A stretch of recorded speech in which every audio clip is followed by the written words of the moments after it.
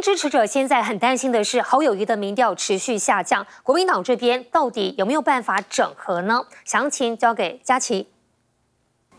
国民党确定征召新北市长侯友谊来参选总统，不过呢，迟迟等不到红海集团创办人郭台铭的大团结。现在侯友谊的团队月底就要先整队来出发了。我们那也看到了呢，自从这个侯友谊宣布要参选总统之后，他的民调呢，目前显示都是垫底的状态，排名第三名。那么蓝营人士就说了，因为现在有遇到一些状况，就是侯友谊的团队跟党中央呢，似乎没有实质的来做对接，所以很多东西。呢可能都对不上，但是浮选的要角当然就紧张了。现在都已经在选战的状态了，那么他们就说了，侯友谊的团队一直自认为这政治能量很强，尤其是过去有在新北市都有选出不错的好成绩，他们始终是认为自己的民调应该就是排名第二，引发了基层的焦虑。不过我们带您看到的是，其实在侯友谊下乡的时候，到了屏东县，屏东县议长就有提醒侯友谊要赶快打电话给郭台铭，哎，要促进团结合作才有赢的可能。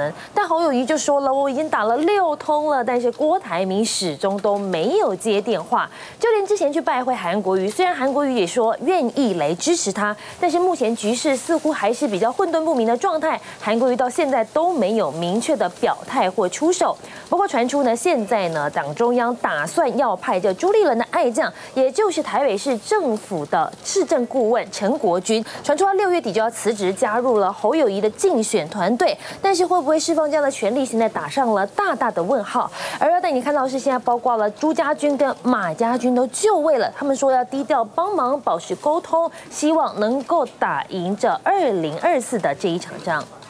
不过，佳琪公道博王金平是不是现在开始出手要帮忙侯友谊了？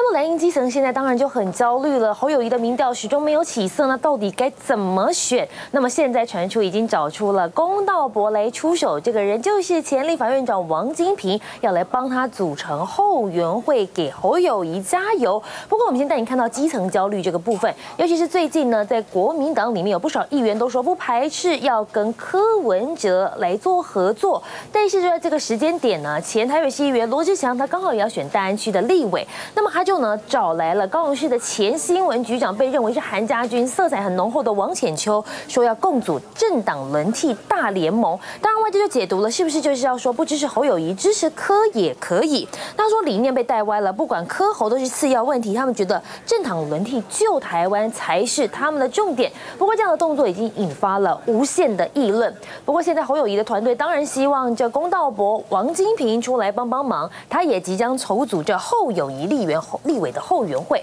那么过去是立法院长的身份，当然很多的立委都要卖王金平的面子。那么传出在七月五号的晚间呢，他们就要在饭店来聚餐。除了前立委像是潘维刚、朱凤芝、黄昭顺之外呢，那么包含了现任的曾明宗总召，他们都会通通来邀请，希望越来越多的立委可以加入侯团队雷联盟。